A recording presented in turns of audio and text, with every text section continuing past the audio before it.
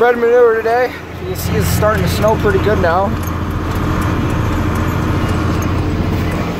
I got the uh, 2.9 spreader. Dad has the H&S. He stopped to grab something real quick. But uh, spread manure today. First field work of the year. Freaking cold outside. And now it's snowing. So uh, the drone footage didn't turn out like I really wanted it to. The since it's cl on cloudy days, you can't get as much satellite signal, so I couldn't use the follow me feature. So I was, what has it been? It's probably been almost, probably five months, four or five months since I've flown the drone and drove at the same time. So I was quite out of experience.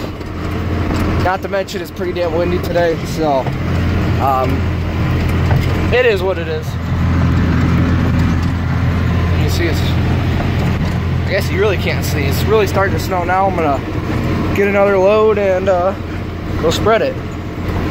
I know there'll probably be a lot of comments, well, and they'll say, oh, in my so-and-so state, it's illegal to spread manure in the wintertime. Well, here in the great state of Iowa, as of now, it is completely legal to spread manure in the wintertime.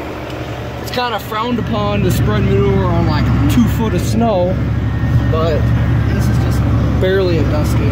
So, back in and get another load.